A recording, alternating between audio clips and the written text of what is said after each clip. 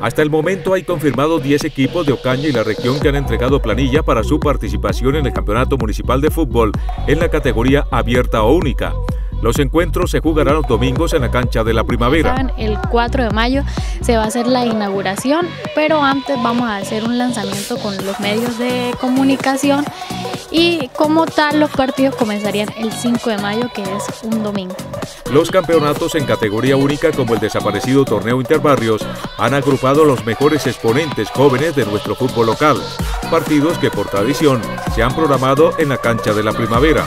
Totalmente, un buen fútbol, ese campeonato va a estar por lo alto, va a ser una fiesta espectacular, invitados todos, como saben, el partido de las 4 de la tarde es el partido clásico con entrada FIFA, va a tener su balón, todo va a ser espectacular.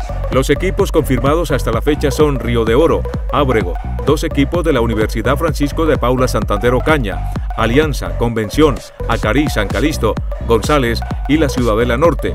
La Fundación Deportiva Real Felibres es la encargada de la organización del campeonato.